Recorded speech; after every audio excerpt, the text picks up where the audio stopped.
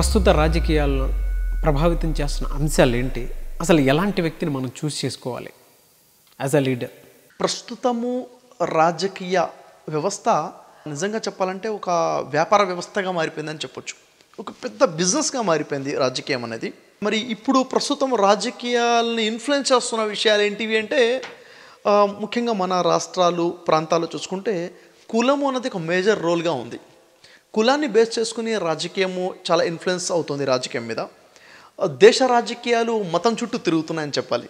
అంటే మతం ఒక ప్రభావం దేశ రాజకీయాల్లో కులం యొక్క ప్రభావము రాష్ట్ర రాజకీయాల్లో. ఇంకా చెప్పాలంటే టోటల్ దేశంలో డబ్బు అనేది చాలా పెద్ద ప్రభావాన్ని చూపిస్తుంది. చాలా పెద్ద ప్రభావాన్ని రాజకీయాల మీద చూపిస్తుంది ధనం అని చెప్పాలి. యాక్చువల్గా ఇది ఒక బ్యాడ్ సైన్.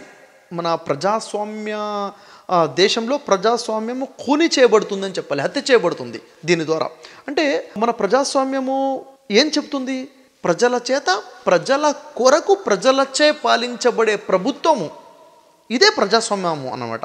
మరి ఇక్కడ ఏమైపోయిందంటే ప్రజల చేత ఏదైతే ఎన్నుకోబడుతుందో ఎవరి కొరకు ప్రజల కొరక అంటే ప్రజల కొరకు అవ్వట్లేదు. ప్రజల కొర కూడాను డబ్బు కొరకు నాయకులు కూడాను డబ్బుల కొరకు అన్న ధోరణి దాదాపుగా వచ్చేసిందంటే ప్రజాస్వామ్యము ఎంత డేంజర్ సిచ్యువేషన్లో ఉన్నదని ఒకసారి ఆలోచించాలి.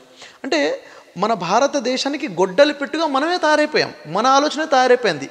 మన రాజకీయ వ్యవస్థనే తయారైపోయింది. వాస్తవానికి రాజకీయ వ్యవస్థలో మార్పు రావాలి అంటే నాయకుల్లో కాదు రావాల్సింది మార్పు. రావాల్సిన మార్పు ప్రజల్లో రావాలి. ప్రజల్లో ఎప్పుడైతే మార్పు వస్తుందో నాయకులు ఆటోమేటిక్గా మారిపోతారు. ఎప్పుడైతే ప్రజలు అంటే ప్రజలు ముఖ్యంగా చెప్పాలంటే యువతి యువకులు అనుకోండి. ఎందుకంటే మన దేశంలో forty seven percent almost fifty percent lead చేస్తుంది ఎవరంటే యూతే. ఇంకా చిన్నపిల్లలంటే వాడికి ఓటు హక్కు లేదో వదిలేయండి.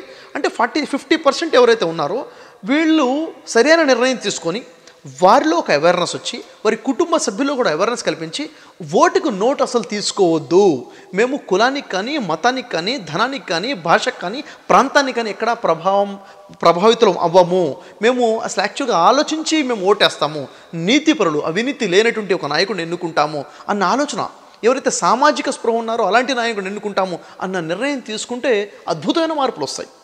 ఇది ఎవరి చేతిలో ఉందంటే యువత యొక్క ఆలోచనలో ఉంది. యువత చేయవలసినటువంటి పని అనమాట అంటే ఈరోజు రాజకీయ వ్యవస్థ ఈ విధంగా ఉంది. సార్ మార్పు వస్తుందా? ఎలా మార్పు వస్తుంది? ఒక చిన్న ఉదాహరణ మీకు చెప్తాను. ఈ ఉదాహరణ ద్వారా అసలు సామాజికంగా ఎలాంటి మార్పులు వస్తాయనేది ఒకటి క్లారిటీ మనకు వస్తుంది. ఉదాహరణ చూద్దాం. ఒక ప్రాంతంలో ఒక పోలీస్ ఆఫీసర్ ఉన్నారనుకోండి. ఒక పోలీస్ ఆఫీసర్ నిజాయితీగా పనిచేస్తున్నప్పుడు అక్కడ ఏదైనా ఒక సంఘటన జరిగింది ఏదో ఒక విషయం జరిగింది. జరిగినప్పుడు అతను న్యాయంగా నిజాయితీగా నిర్ణయం తీసుకుంటే అక్కడ ఉన్నటువంటి పొలిటికల్ లీడర్స్ యొక్క ప్రభావం తన మీద వస్తుంది. ఇన్ఫ్లుయెన్స్ వస్తుంది. ఫోర్స్ వస్తుంది. మరి పోలీస్ అధికారి ఏం చేయాలి? ఒక ఉదాహరణగా చెప్తున్నాను. పోలీస్ అధికారి ఆ ప్రభావానికి ప్రభావితుడైపోయి లొంగిపోయాడు అనుకోండి అవినీతి వచ్చేస్తుంది అక్కడ. ఒకవేళ ఆ అధికారి అతనికి భయపడకుండా అతను నిజాయితీగా నిలబడి ఉంటే ఏం జరుగుతుంది? అంటే మీరు సమాధానం చెప్పొచ్చు ఇతను ట్రాన్స్ఫర్ అయిపోతాడు సార్ ఒక నెల రోజుల కన్నా ఇంకా అక్కడ ఉండాడు వేరే ఆఫీసర్ వచ్చేస్తాడు. అంటే ఇప్పుడు నేను ఇక్కడ నుంచి వెళ్ళిపోతే ఇక్కడ ఉన్న ఆఫీసర్ వెళ్ళిపోయాడు వేరే ఆఫీసర్ వస్తాడు అవినీతి జరుగుతుంది కదా? లేదు. ఒక్కసారి ఆలోచించండి. ఒక్కసారి పోలీస్ ఆఫీసర్లు అందరిలో ఒక మార్పు అనేది వస్తే ఇక్కడున్న అధికారి నిజాయితీగా ఉన్నాడు నిజాయితీ కట్టుబడి ఉన్నాడు ఎలాంటి ప్రలోభానికి లోనవ్వకుండా ఉన్నాడు. ఇతన్ని ట్రాన్స్ఫర్ చేసి కొత్త ఆఫీసర్ వస్తే అతను కూడా నిజాయితీగానే నిలబడితే అతన్ని ట్రాన్స్ఫర్ చేస్తే మూడో ఆఫీసర్ వస్తే అతను కూడా నిజాయితీగా నిలబడితే ఏమవుతుంది? నిజాయితీ అనేది గెలుస్తుంది నీతి అనేది గెలుస్తుంది అవినీతి అనేది అంతం చేయబడుతుంది. అంటే ఎప్పటి వరకైతే అంటే ఒక చిన్న పోలీస్ వ్యవస్థలో నీతి నిజాయితీ వచ్చేస్తే సరిపోతుంది పూర్తి వ్యవస్థ మారచ్చు. అలాంటిది పూర్తి యువతలో మార్పు వస్తే యువత నీతి కోసం కట్టుబడి నడుం బిగించి నిలబడితే ఎంత గొప్ప మార్పు వస్తుంది? చాలా అద్భుతమైన మార్పు వస్తుంది. ఎలాంటి నాయకుడిని ఎన్నుకోవాలి అంటే నిజంగా సామాజిక స్పృహ కలిగి ఉండి అవినీతికి పాల్పడకుండా దేశ భవిష్యత్తు కోసం ఎవరైతే ఆలోచిస్తున్నారో అలాంటి నాయకుడిని ఎన్నుకోవాలి. మనకు అర్థమవుతుంది. ఉదాహరణకి ఉన్నటువంటి నాయకుల్లో ఎవరు మన సమాజం కోసం ఉత్తమము? The best లేరనుకోండి. బెటర్ ఉండి ఉంటారు. బెటర్ కూడా లేరనుకోండి. గుడ్ ఉండి ఉంటారు. గుడ్ కూడా లేరనుకోండి. యావరేజ్ ఉండి ఉంటారు. అంటే ఉన్నటువంటి నుండి ఇద్దరు ముగ్గురు నలుగురిలో ఈ నలుగురిలో ఉత్తమం ఎవరు? ఈ నలుగురిలో కొంచెం ఉత్తమం ఎవరు? ఈ ఆలోచన కలిగి ఉండాలి. లేదు మనకెందుకులే ఏ నాయకుడైనా కానీ మనకెందుకని మనము బాధ్యత కనుక తీసుకోకపోతే యువత బాధ్యత తీసుకోకపోతే వచ్చే పరిణామాలు ఏంటి సమాజంలో చెడు ప్రభుత్వం అవినీతి ప్రభుత్వం కనుక వస్తే జరిగే అవినీతిలో ప్రతి వ్యక్తి కూడా భాగస్వామిగా నిలబడాల్సి వస్తుంది. నష్టపోయేది ఎవరు ప్రజలే నష్టపోతారు. కాబట్టి రెస్పాన్సిబిలిటీ అనేది తీసుకోవాలి. మన రాజకీయ వ్యవస్థలో ఈ లోటుపాటు సరిచేసేటువంటి ప్రస్తుత రాజకీయ వ్యవస్థలో ఈ ఉన్నటువంటి లోటుపాటు సరిచేయాలి అంటే ఆ రెస్పాన్సిబిలిటీ యువత వల్లనే సాధ్యమవుతుంది. యువతే బాధ్యత తీసుకోవాలి.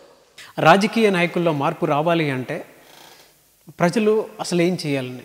అంటే కంప్లీట్గా ప్రజల మీదే మనం కాకుండా అంటే ప్రజలది తప్పు ఉంది అని చెప్పకుండా రాజకీయ నాయకులు కూడా తప్పు చేసేవాళ్ళు ఉంటారు కాబట్టి వాళ్ళల్లో మార్పు రావాలి అని అంటే ప్రజలు ఏం చేస్తే బాగుంటుంది అసలు? చూడండి సార్ రాజకీయ నాయకుల్లో మార్పు రావాలంటే ప్రజలు ఏం చేయాలి? అంటే ప్రజలు మారాలి.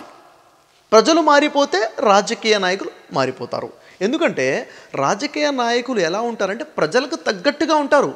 ఇప్పుడు అవినీతి ఎవరు మొదలుపెట్టారు? అవినీతి మొదలుపెట్టింది ప్రజలే. ఎప్పుడైతే ఒక వ్యక్తి సగటు ఓటరు ఏం చేశాడు? తను ఓటేయాలంటే రెండు వేల రూపాయలు వెయ్యి రూపాయలు ఐదు వందలు నాలుగు వేలు తీసుకున్నాడు. అవినీతి ఇక్కడ మొదలుపెట్టాడు. ఎలాంటి విత్తనం అయితే మనం నాటుతామో అలాంటి పళ్ళే అలాంటి వృక్షమే వస్తుంది. నేను అవినీతి విత్తనం నాటితే అవినీతితో ఓటేస్తే వచ్చే ప్రభుత్వం కూడా అవినీతితోనే ఉంటుంది. ప్రశ్నించే హక్కు కూడా ఉండదు. కాబట్టి ప్రభుత్వము నాయకులు మారాలి అంటే ప్రజలలో మార్పు రావాలి. ప్రజల్లో నీతి వచ్చేస్తే రేపు ప్రశ్నించే ధైర్యం చేస్తాడు. ఎప్పుడైతే ప్రశ్నిస్తారో ప్రభుత్వాలు నిలబడవు. మంచి ప్రభుత్వం మాత్రమే నిలబడుతుంది. కాబట్టి మార్పు రావాల్సింది ప్రజలలో యువతలో మార్పు రావాలి వస్తుంది. ఒక వస్తుంది ఖచ్చితమైన మార్పు ఉంది. ఎందుకంటే ఇప్పుడు ఏవైతే మనం మాట్లాడుతున్నామో ఇవి లక్షల మంది యొక్క హృదయాలను టచ్ అవుతుంది. కోట్ల మంది వీటి గురించి ఆలోచిస్తారు. ఎస్ ఎందుకంటే సార్ నేను అమ్ముకుంటుంది నా భవిష్యత్తును కాదు. నా నెక్స్ట్ తరాలు నా నెక్స్ట్ జనరేషన్ భవిష్యత్తుని నా సంతానం యొక్క భవిష్యత్తుని కూడా అమ్ముకుంటున్నాను. ఈరోజు చూడండి సమాజం చేజారిపోతుంది అంటే అవునండి అవునండి సమాజం చేజారిపోతుంది అంటాం. సమాజం చేజారిపోతుంది అంటూ అలా వదిలేస్తే సమాజం చేజారిపోతుంది కదా? సమాజం గురించి పట్టించుకోవాలి కదా? ఈ రోజు కూడా మనలో స్పృహ రాకపోతే సమాజం చేజారిపోతుంది. కాబట్టి ప్రతి వ్యక్తి సోషల్ రెస్పాన్సిబిలిటీగా తీసుకోవాలి. రాజకీయం అనేది దేశ భవిష్యత్తుకి కీలకం అనమాట కాబట్టి యువత రాజకీయం మీద ఒక దృష్టి పెట్టాలి ఒక మంచి పరిణామంగా ఉండాలి. యువత కూడా రాజకీయాల్లోకి రావాలి. సగటు ఓటర్కి మీరు ఇచ్చే సందేశం ఏంటండి? సగటు ఓటర్కి నేను ఇచ్చే సందేశం ఏంటంటే దయచేసి ప్రతి వ్యక్తి ఎవరైతే పద్దెనిమిది సంవత్సరాలు నిండిపోయి ఉన్నాయో వారు అసలు వారికి ఓటు హక్కు నమోదు అయిందా లేదా అని చూసుకోవాలి ఫస్ట్. ఫస్ట్ చేయవలసింది నేనున్నాను.